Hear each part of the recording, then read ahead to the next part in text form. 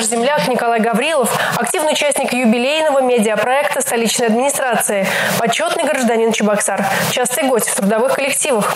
Сегодня он встретился с работниками Чебоксарского электроаппаратного завода. Николай Гаврилов познакомился с историей предприятия, узнал о новых проектах и современных направлениях работы. С продукцией завода он знаком не понаслышке. Мне приятно было увидеть, что часть электроприборов, выключателей, реле используется на самолетах и вертолетах. И я узнал мои выключатели в кабине, которые я часто щелкал, и они безотказно всегда работали. Потому что без электричества сейчас ни одна техника, ни одна машина не работает.